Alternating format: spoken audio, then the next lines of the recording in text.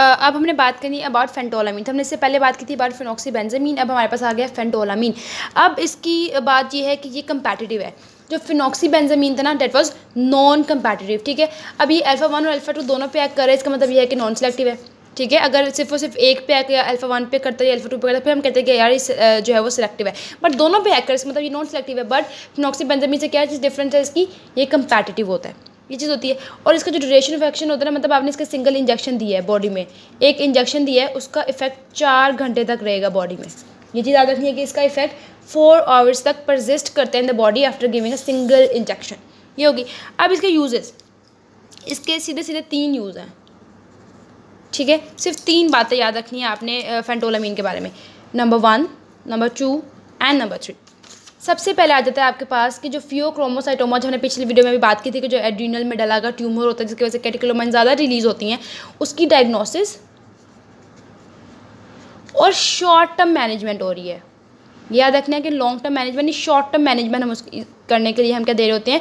फेंटोलामीन management of फियोक्रोमो साइटोमा ठीक है?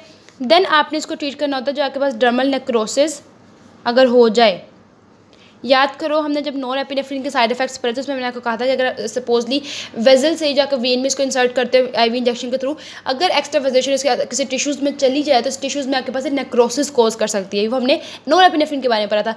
जो वो नेक्रोसिस उसने टिश्यूज़ में कोज करनी है, अगर सपोज़ हो गई है एक्स्ट्रा वेजेशन की वजह से, उसको ट्रीट करने के लिए हम क्या देते हैं? फेंटोलामीन ठीक है डर्मल नेक्रोसिस जो आपके पास किसकी वजह से होगी? नॉर एपिनेफ्रीन की एक्स्ट्रा वेजेशन की वजह से। उसको ट्रीट करने से हम क्या दे रहे होते हैं? फेंडोलामिन देन थर्डली आपके पास जो हाइपरटेंसिव क्राइसिस होते हैं, उसको ट्रीट करता है आपके पास। अब याद करो, मैंने आपको एक ड्रग के बारे में बताया था क्लोनिडीन और मैंने आपको बताया था कि it is alpha two agonist और इसको हम हाइपर टेंशन के लिए यूज़ करते हैं पेशेंट में, ठीक है? और वो जो एक वो अटेंशन डेफिसिट सिंड्रोम था उसके लिए हाइपर टेंशन के लिए। और आपको मैंने ये भी बताया था कि एकदम पेशेंट अगर क्लोनिडीन ले रहा है हाइपर टेंशन के लिए, अगर आप एकदम इसको जो है विड्रॉ करोगे तो पेशेंट हाइपर टेंशन क्या करेगी? रिबाउंड करेगी। ठीक है? हाइपरटेंशन रिबाउंड हाइपरटेंशन फिर मतलब दोबारा से हो जाएगी। तो जो उस क्राइसिस को ट्रीट कौन करेगा? फेंटोलामीन ठीक है? तो ये सिर्फ़ और सिर्फ़ ये इसके छोटे मोटे तीन से फ़ंक्शन है। मैनेजमेंट करा है फियोक्रोमोसाइटोमा की नेक्रोसिस के बाद में कर लोगे अब हाइपरटेंशन क्राइसिस कर लोगे, अगर सडन विड्रॉल कर दिया पेशेंट की क्लोनिडीन ने फिर चार ओवर्स के लिए चार घंटे के लिए जिसका इफ़ेक्ट है सिंगल डोज के बाद कंपेटिव है अल्फ़ा अल्फ़ा टू दोनों पैक करा नॉन सेक्टिव भी ठीक है?